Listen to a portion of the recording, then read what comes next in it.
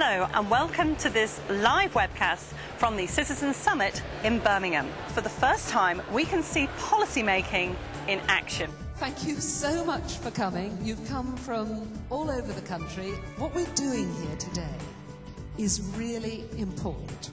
This is about getting the health service right, but it is also about a new way of doing politics and making policy. What we'd like is for each table to come up with the top three things that your table thinks are working well and the top three things that your table thinks work less well.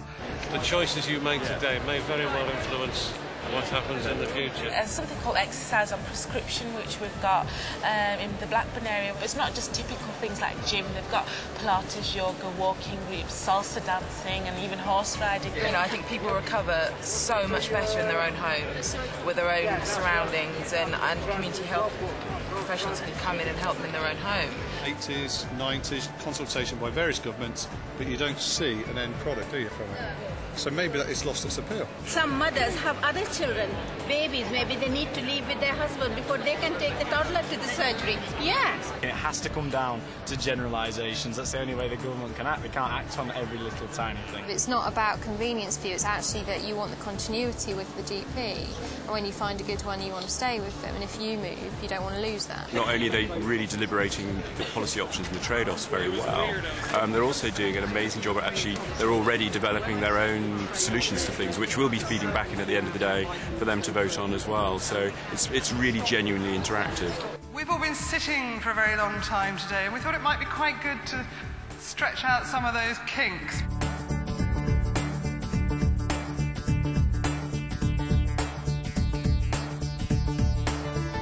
Help should be given to elderly people, but by doing that, you're creating a pecking order of um, who you should give care to. Just because you're in your late 70s, you've got a right to live like everybody else. If you need treatment, you've got the right for it. They like to hear what other people have got to say, and they like to bounce their ideas off each other. It was very interesting how people wanted to be able to have more time to talk to their pharmacist or their local chemist about uh, their needs. Part of what we're trying to do in this um, consultation is find out what care services that people need in order to have the confidence and the peace of mind to want to live in their home for as long as possible.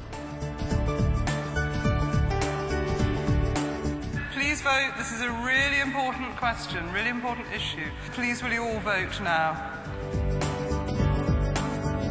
The patients here haven't been given a blank sheet, but still, this level of consultation is unprecedented. How much difference it's made will only be clear when the government publishes its own plans later this year. For most people, their experience of the NHS isn't about hospitals or waiting lists. It's about the simple things, like how to get an appointment with a GP. And that's why ministers are here today listening, hoping they can make it better so that patients will have a better experience when they use the NHS.